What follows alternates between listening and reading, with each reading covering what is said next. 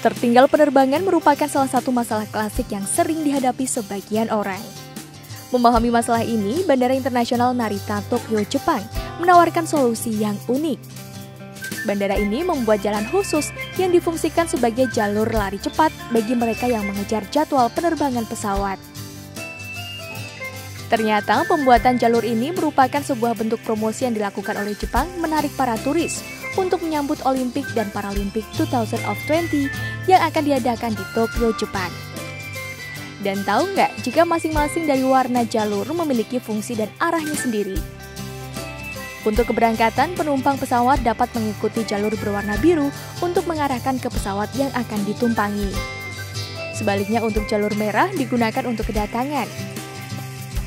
Para penumpang yang turun pesawat tinggal mengikuti jalur merah ini dan akan sampai ke depan bandara.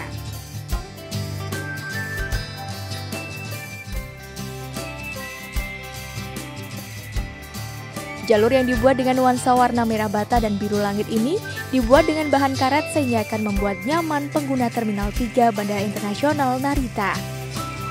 Keunikan lain yang ada ialah petunjuk arah tidak digunakan pengumuman elektrik, melainkan dengan tanda yang terdapat di atas trek lari. Jadi penumpang tidak perlu khawatir akan tersesat.